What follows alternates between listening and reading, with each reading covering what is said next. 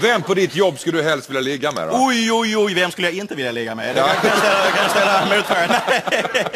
Nej, nej, nej, nej, nej, men seriöst, jag är inte kräsen. Jag är verkligen inte kräsen. Det är, Du kan de tar... gå själv och ha eh, sina egna tänder, då, då, då är jag där. Förlåt. Jo, men då alla deras soldater är borta i Irak. Det är, är nu vi ska slå till ju. Är det så? Ja, men de väntar sig inte det. Sverige har haft fred i över hundra år. Ja, fram till nu, motherfucker! En, eh, jag har en syster. Hon, hon eh, körde ihjäl sig på en moped. Och eh, när hon låg på sin dödsbädd så tittade hon upp mot mig. Vad gjorde hon då? Vad- Vad sa hon då? Och så sa hon, minns mig med värme. Försöker du få ihop...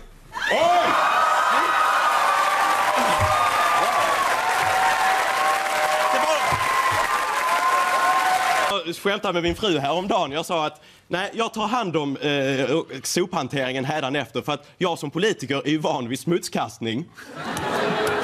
Och, och, och då svarar min fru att eh, ja, du är i alla fall full av skit, din, din jävla slöfock.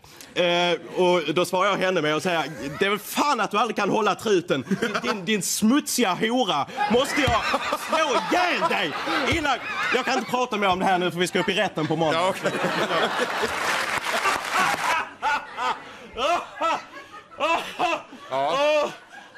Vad betyder skärskådande?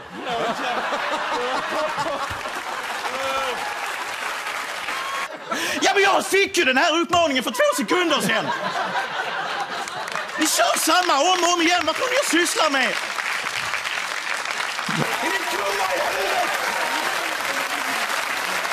Du, nu ska jag ge dig ett tips från coachen. Okej, okej, för en gångs skull. ja, ja. Pip, pip, pip!